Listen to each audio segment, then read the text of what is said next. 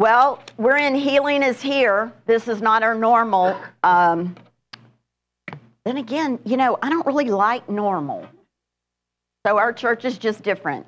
And we, we, yeah, and we're just odd people because we believe the Bible, the whole Bible, and nothing but the truth. Amen.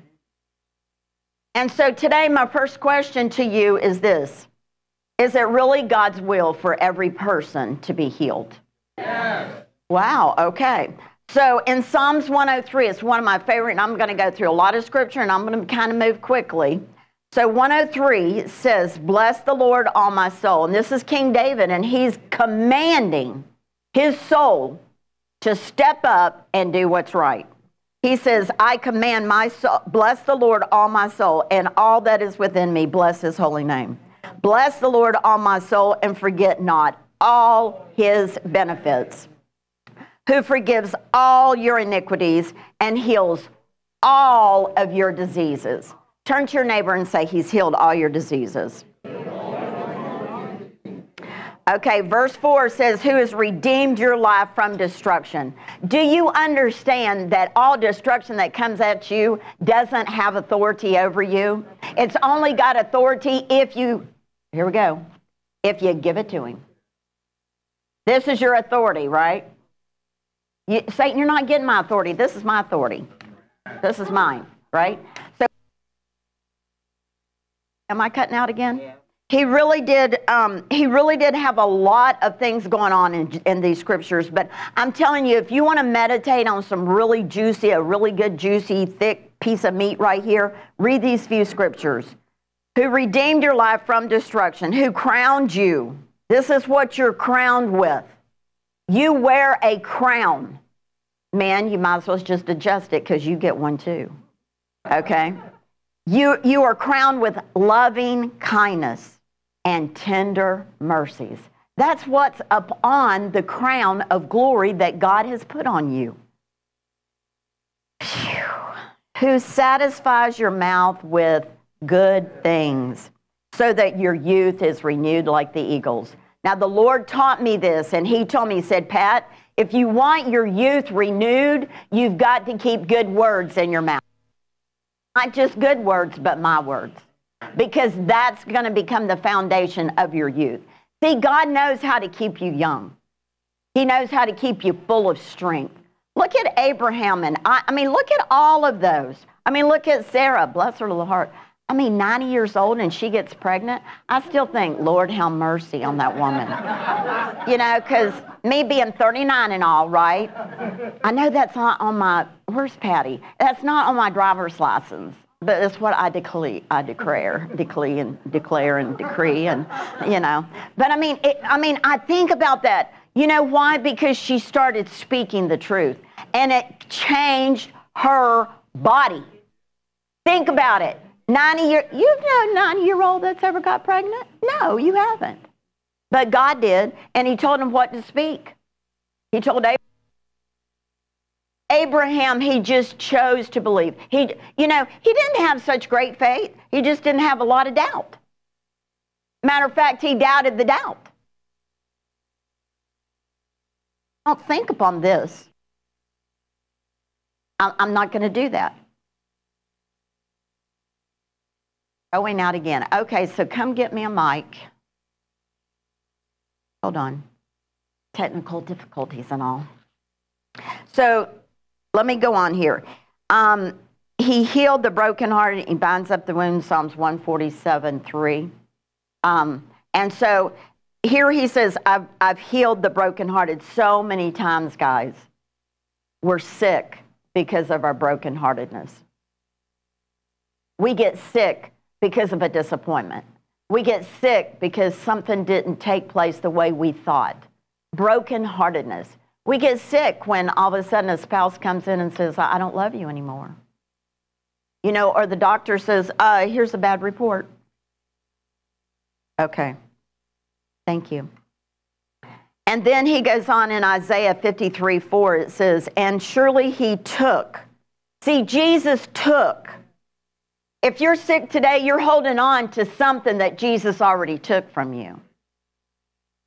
You know, guys, listen to me. I love you, but I'm going to tell you the truth. This is not a church for tickling ears for people. If you don't want to know the scripture, you're not going to come back. You're not going to stay around. I'm just going to be honest with you, you're not. If you want the truth of the Word of God, you need to look at it and see it, and it needs to be spoken to your life. Amen? Amen. It says, Surely He took our infirmities and carried our sorrows. Mm. Yet we considered him stricken by God, struck down and afflicted. But he was pierced for our transgressions, and he was crushed for our iniquities. And the punishment that brought us peace was upon him. And by his stripes you are healed. Now that's in Isaiah, and if you move over to, to Matthew 8 14, Isaiah, uh, Isaiah is confirmed here it says the very same thing that he took our infirmities and he bore our sicknesses.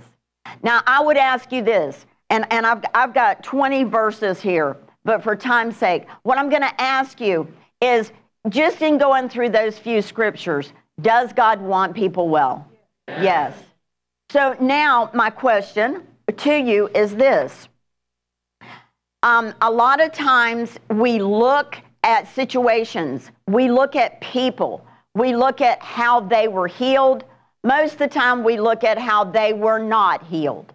And so you have questions because you've seen things in your life. You've seen people not healed. I mean, you've seen people die. And you might say, well, Pastor, you know, I've known people that were very good people. They were holy people. They were sit on the front row. They came to church every Sunday. They were here.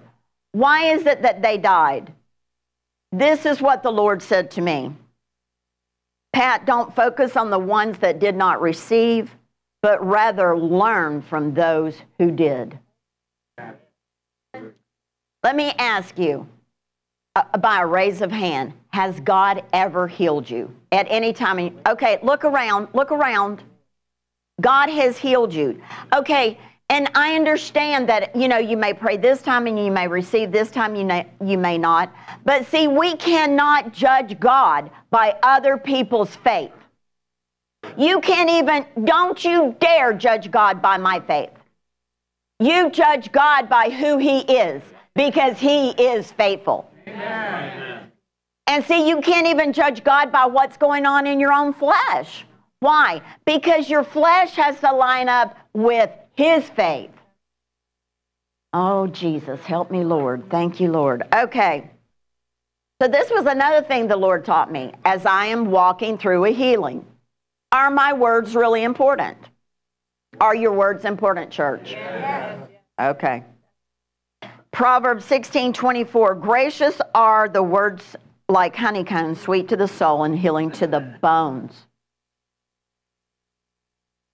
Proverbs 15, 26. The Lord detests the thoughts of the wicked, but the words of the pure are pleasant to him. What, is, what are thoughts of the wicked? Thoughts come from your mind. This is what happens. All through your life, you have heard, these are ears, you've heard all of these things that do not line up with the Word of God. And this is your mind. This is your soulish realm, and this is the key. This is going to be the key to your healing.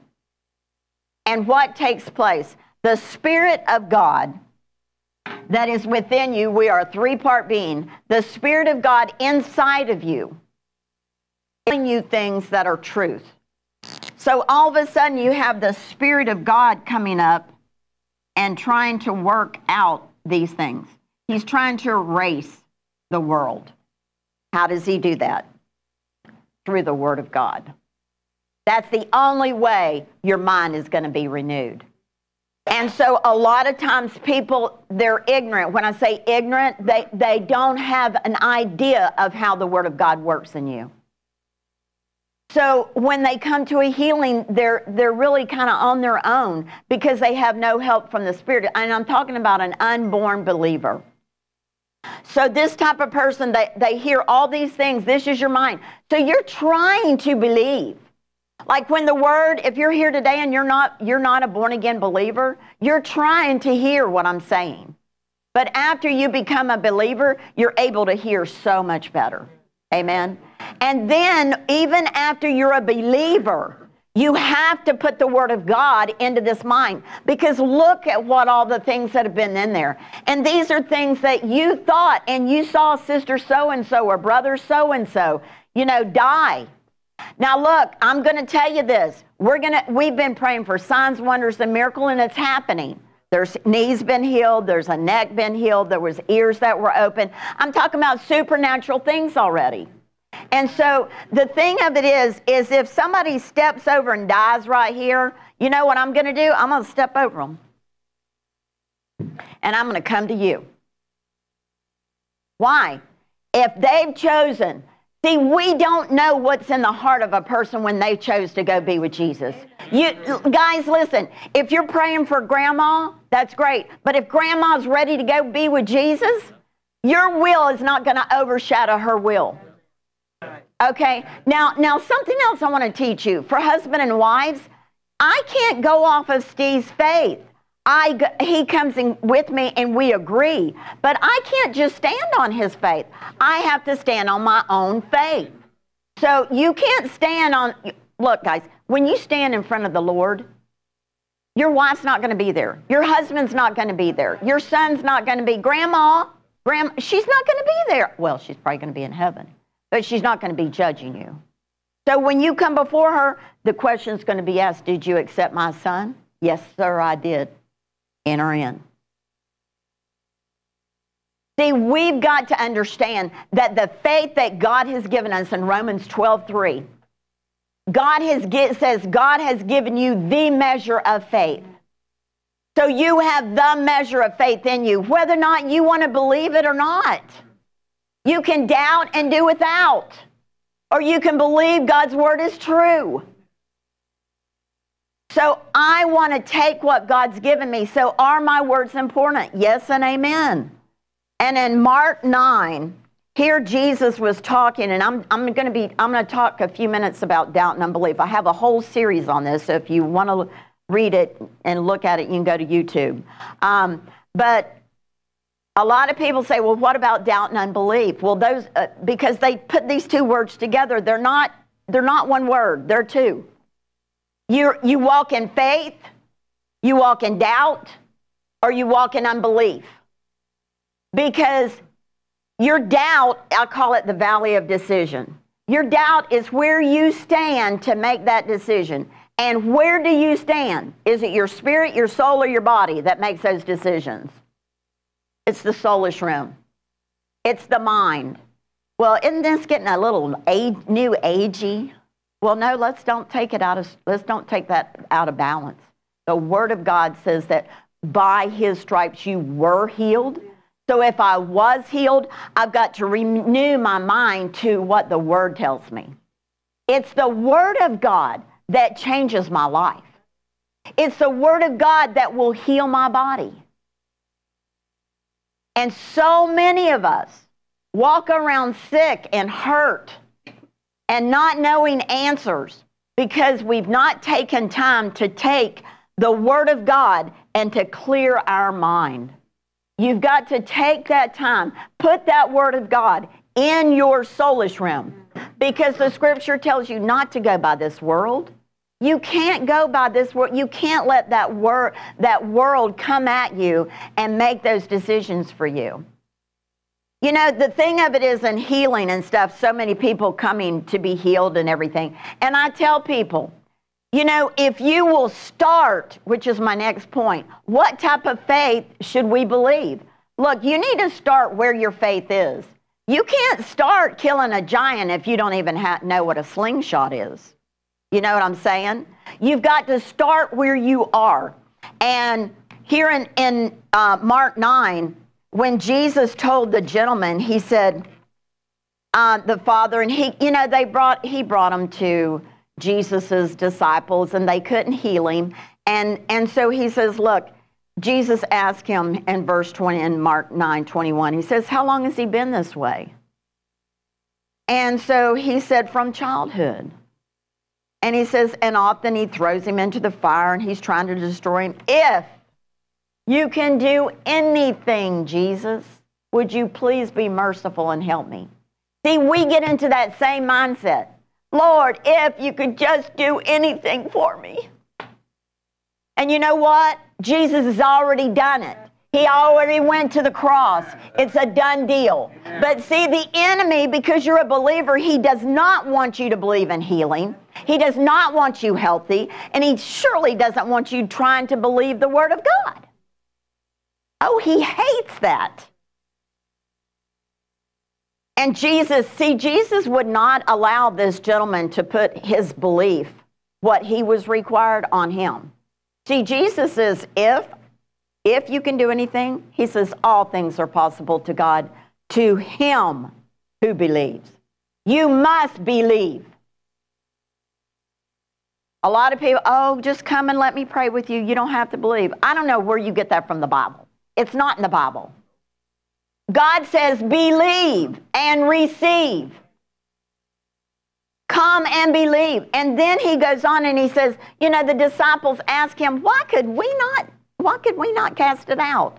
Well, let me tell you something. If you've ever been in a deliverance service and you start pe- you start seeing people slither like a snake, it's like, hmm. But the one thing I've learned is that, and this is through Norvel Hayes, is that when we, the students, would travel with him, you're talking about seeing a lot of manifestations. He brought stuff. I mean, they would bring demonic, all kinds of stuff. And we students would sit, I'm sitting right on the front row. And I'm like, okay, all right, God, I want to see how you do this. Because, see, I knew one day I would need to know how to do these things. I would need the wisdom, the direction, and the guidance of these men that God had me sit under. And so uh, we see a lady, and she started just drooling and foaming at the mouth, and she was just slithering like a snake. And I thought, oh, I just, I hate the devil so bad, but I just thought, what you're doing to this woman. And so he started commanding it, and it just started flipping and flopping, and she's flipping it all over the chairs, and she had a dress on, and I thought, woohoo, okay. Um, and she just, she was going all crazy. And I just, just the Spirit of the Lord inside me said, you know, they need to stop this, and they need to take it out. And that's exactly what they did. I thought, thank you, Lord. And so what they what we did is we students we took her out to the back and it was amazing how all of a sudden she started acting normal. Why? Because the enemy does not he likes to make a show in front of God's people to make them look stupid. Look, you got authority over the enemy. Yes. And so if there's something starting to manifest up here, I'm going to have Mr. He-Man back there and a bunch of the guys, I'm going to have you them haul your butt right out of here. You know why? And then we're going to cast. But first, I have to make sure that you're a believer. If you're not a believer, do you want me to cast this demon out? And you need to tell me. You need to give me your authority. And then I'm going to take authority over it. See, Jesus had the authority here. But what he was telling him is he said, Look, you've got to believe. And what did he say? I, this, this scripture just, I fussed with this scripture for so long. I believe, but help my unbelief. And finally, 20 years later, I can't say, yeah, probably about 20 years later, it, yeah, probably 15, 20 years later, the Lord just dropped it in me. He said, Pat, you believe here, which helps your unbelief here. That makes sense? That makes sense. So remember, the next time you say, okay, I'm going to believe something, and then all of a sudden you go maybe a day or two, or maybe an hour or two, or maybe a couple minutes, and all of a sudden you hear this doubt. That doubt's not coming from here. That's right. That doubt's coming from the soulish realm. So then now what do I got to do? You cannot cancel a thought with a thought. You cancel a wrong thought with the Word of God. That's the only thing that will move that out. And so you start cleaning up the soulish realm. Now, guys, you can't do this 10% of the time. The scripture tells us that we need to keep the word before us morning, noon, and night. And if you at work, you can put your earphones in, you know, you can get one scripture and just write it down, put it on a sticky pad. I, I put it in my phone for an appointment. I have a thousand appointments in my phone. Steve says, Your phone goes off more than anybody's. I said, I know, because God's always talking to me. What is that? That's my word that I put in there to remind me. I've got all my scriptures, they pop right up there. And that's God talking to me all day long. Those are reminders. That's the reminders I have in my phone. And that's something you can do to keep it before your eyes. And then make sure you speak it out with your mouth. So, where is healing for you? Where is healing? Right here.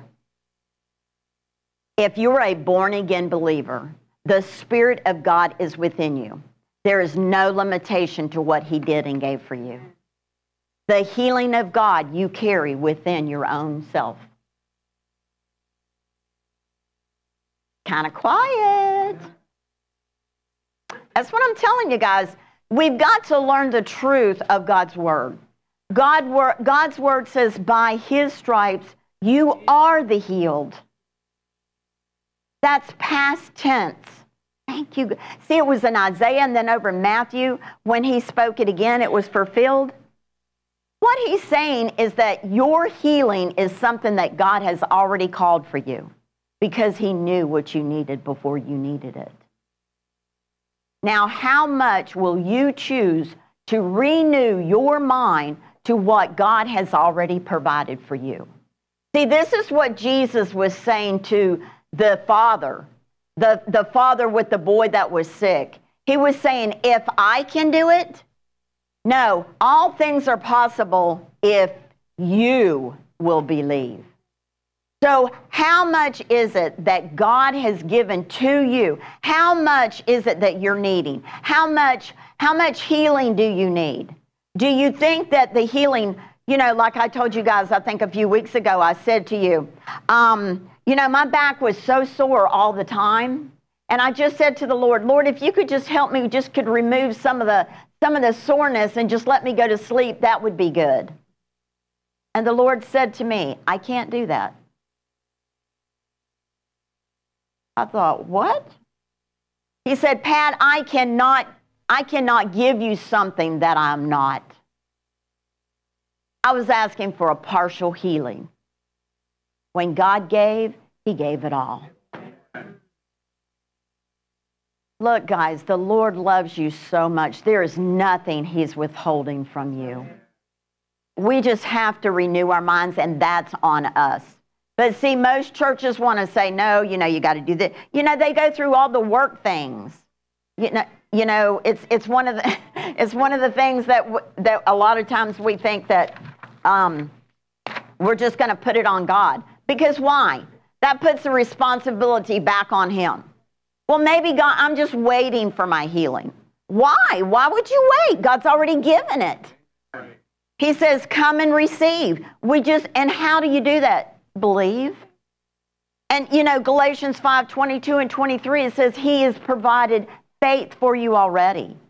Like I said, Romans 12, 3, he's provided the measure of faith for you. Well, how much faith do I need, Pastor? It doesn't matter. God's already provided it. You do. And it's one of the things that God has asked you to do. Make sure you know what's, what's already been given to you. Once it's been given to you, then you can receive it.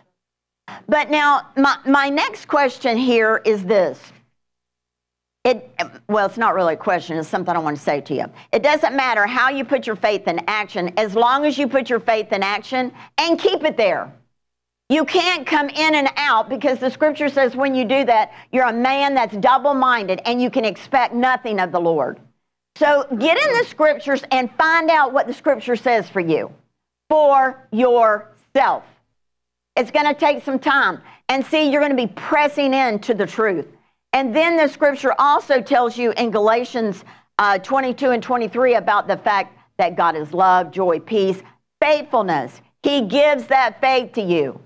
You've already got the faith of God to believe Him for what He's requiring. Really, it's not even Him that's requiring it, it's you. If you're sick, you're going to require healing from the Lord. And if it's already been given, then what are you going to do in order to receive it? You believe. You just believe. And so in Matthew 9, where the, where the guy comes and he said, Look, my little boy has died. Now look at the different ways that people believed. My little boy has died. I need you, Jesus, to come. Come put your hands on him, and then he will, he will be alive. Now that was his belief. And then all of a sudden, the woman, she's crawling to touch the hem of Jesus' garment. And she says within herself, if I can just touch the hem of his garment, I will be made well. Now, she didn't ask Jesus to come to her. She went to Jesus and she took her healing. Now, he asked Jesus, Come, and then when you lay your hands on him, I'll receive it. He'll receive it. Did they both receive? Yes. Did they receive? Did they have the same faith? No. They believed differently. Not that God couldn't do it, but in the way that God would do it for them. The way God wants to bring your healing is how you are going to see that God is going to do it for you. Pray in the Spirit, Lord, how can I walk in this and be, be truthful? Be truthful in your faith. Because you've got the faith of God, but you want to make sure that you, like I said, you can't go out there and kill that giant until you start picking up the slingshot. You need to practice a little bit, right? You, the next time you get a headache or, or whatever, start speaking to it. Stand on that. Because everybody in here raised their hand that I've been lay, I have been found favor and I have laid and been sick, but God has healed me. Remind yourself of that. That will stir your faith back up. Does your faith grow? No, it doesn't. You just choose to use it or you don't. People that walk in faith, they say, you know, Jesus says, Oh, you have great faith. He wasn't saying his faith was bigger. He's saying, Man, you are choosing to use your faith. That was the centurion in Matthew 8, uh, verse 8. He said, Now, this is what he told Jesus. Jesus. Jesus says, Oh, I'll come. I'll come and heal him. He stopped the Lord. He said, No. Lord, you just speak your word and it'll be done. And it was done. And the, I mean, I could just go on and on. The blind man, what did he, Jesus sent him to the pool. Why did he have to go to the pool? Because the man knew, he knew that this man that was blind, Jesus knew what it was going to take to get him healed. He put inside of him what to do. He came, he listened to what Jesus said. Listen to me. He was blind. Do you get it? He was blind, and Jesus sent him to the pool to wash. Okay, let me get there. You know, but but so many times when God is going to give you something for you to walk through your healing, it may sound a little strange. It's okay. Let God do it. Amen. All right, let me close.